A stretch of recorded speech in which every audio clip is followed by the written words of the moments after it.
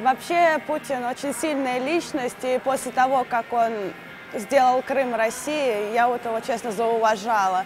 И мне кажется, сейчас из-за этой всей ситуации Америка просто нас боится и пытается напасть на нас. И, как говорится, лучшая защита – это нападение.